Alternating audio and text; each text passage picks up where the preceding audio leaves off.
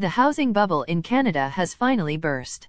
The MLS House Price Index is currently down 9% from its peak in last February, on its way to a loss of over 30%, which we believe is consistent with deteriorating affordability and the Bank of Canada's aggressive tightening of monetary policy. According to the projections made by financial experts, the adverse wealth effect brought on by such a price decline will reduce GDP growth by almost 2.5 percentage points. It's not hard to understand why Canada's upcoming recession could be deeper than what Bay Street people are anticipating when you consider the diminishing effects of higher interest rates on consumption as well as investments. People spend more when the value of their assets such as stocks and home increases because they believe their financial situation is improving. This happens through a variety of pathways, including a behavioral element that results in people spending more of one's earned disposable income and a rise in credit access, a cycle that has predominated over the previous 10 or more years despite continuously low borrowing prices. Homeowners are more likely to take on additional debt if their credit ratings rise. As they make their mortgage payments on time, the Bank of Canada's overnight target rate has increased by 350 basis points since March and is still increasing, and therefore the theme of rising wealth is certain to disappear as credit availability becomes more difficult to get and real estate values decline. Since its highest in February, the MLS Home Price Index has already dropped by 9%, but the corrective measure is still far from finished. The homeowners in Canada are being bombarded with a variety of limitations as the economy is heading into a recession such as sudden and rapid restrictions on their access to credit, all-time high debt servicing costs as well as the ongoing inflation eating up most of our disposable income. On top of that, the Canadian residents are also being hit by the inevitable wealth depletion in both equity and residential markets, which is in turn putting an extra pressure towards their sentiments. Talking about the last time when all these factors were at play in Canada was in the early 1990s, when Bank of Canada themselves induced a recession in Canada which led to a reduction in the residential property prices by almost 30% from their all-time high between 1989 to 1996. However, this housing washout is just getting started. Even though the household consumption is bound to slow down very soon, the wealth effect will also contribute negatively to the Canadian economy.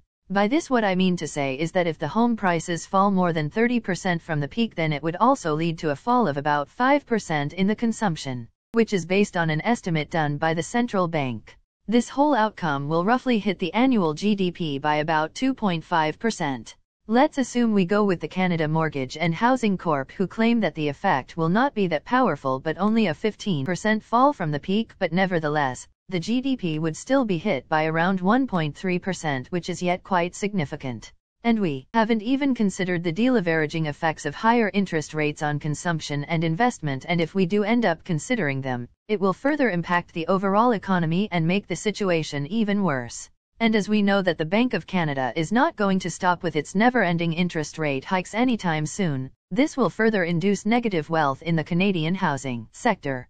And if you guys think all this will be over very soon, you're wrong because this is just the beginning. This upcoming recession in Canada is likely going to be heavier than what many Bay Street experts are expecting. Because of the escalating decline in home values and the multiplier effects on general consumers, there's no other way to say that the Canadian dollar is destined to continue to be weak for many more months and quarters to come. This is true not only because of the bear market in commodities but also because of the serious consequences surrounding the economic outlook. Amid the upcoming recession, a lot of Canadians who have turned themselves towards a heavy usage of credit cards are also at a greater risk of drowning into financial hardship. Before the financial crisis of 2008 to 2009, Canadians owed $1.52 for every dollar of their disposable income. This ratio however has subsequently increased to $1.82 as of 2022 per Statistics Canada's latest data. This is the reason why a lot of Canadians are relying on credit cards to make ends meet which is why some financial experts are cautioning Canadians about a possible increase in credit card defaults that they will be obligated to pay off given these times of economic uncertainty. Under this scenario, as explained by Yanhuk Alexi, the Chief Executive Officer of Credit Counseling Canada, Canadians usually go from paying their credit cards in full, to the minimum payments, and eventually no payments at all.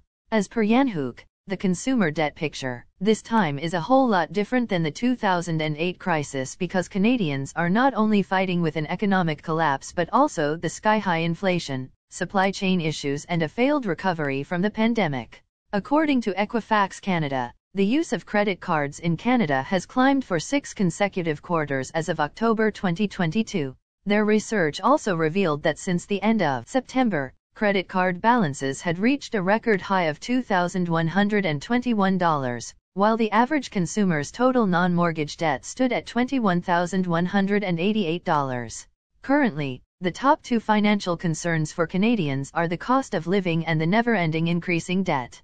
According to one economist, how many jobs are lost in the case of a recession will determine the likelihood that consumer debt will collapse the Canadian consumers are being sandwiched between sky-high inflation and paying down massive debt that they accumulated over the last 10 years when the interest rates were extremely low.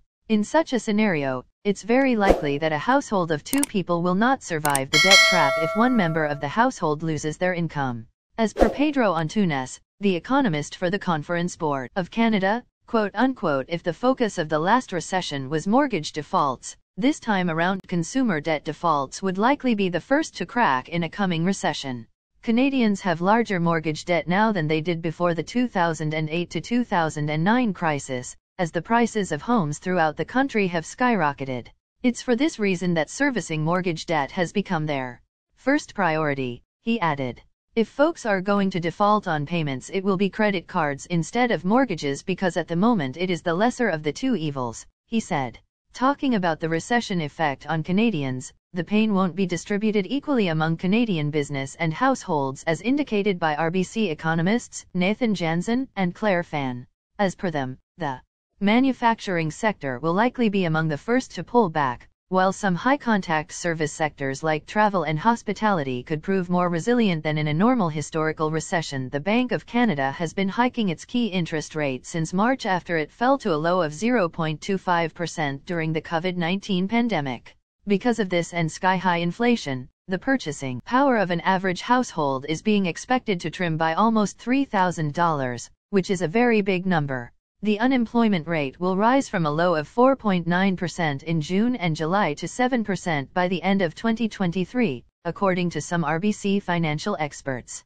Because of this, the Canadian health sector is also left untouched. A huge number of 5 million Canadians do not have access to primary care providers.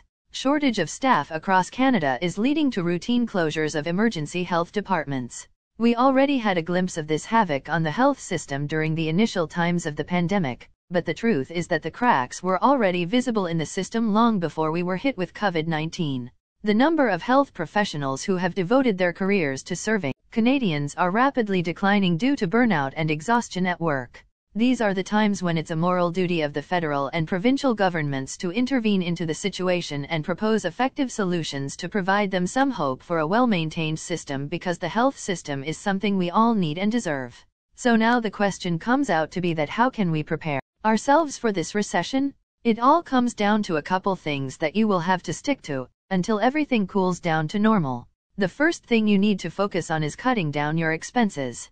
Keep your grocery bills and other unavoidable expenses as low as possible and try to stay away from making big purchases like a home or a car. Secondly, you can start looking for more ways to earn and possibly open up a side hustle that can help you take care of some of your expenses. There are a variety of options available out there that you can try for a secondary income. Thirdly, you need to focus on paying down your debt as much as you can possibly afford because as I mentioned earlier, the inflation is going to make situation worse and people who are going to be initially impacted by this will be the people with high debt. So, try to pay it down as much as you can. Fourthly, saving more in cash could eventually help you better manage your finances because when every other asset is falling in price, sometimes cash could be the safest way to store your wealth. And a lot of people may not know but cash came out to be the best performing asset in 2018 when everything else was low. And yes, you can still continue investing but try to only stick to long-term stocks or else high-yield savings account. And last but not least, try staying at your current job even though you don't like working there because the situation is going to be a whole lot worse than we can imagine. The unemployment rate is at an all-time high and the likelihood of getting into a higher paying job is very low right now. So, if your current job is helping you manage your finances, just postpone your plans for a new position to a later date for now. Alright guys, if you do like this video, make sure to hit the thumbs up and subscribe to my channel for more videos like this. And let me know in the comments below on what else do you think is contributing to the upcoming recession and what you guys are currently doing to tackle it. See you again with another interesting topic. Till then, peace.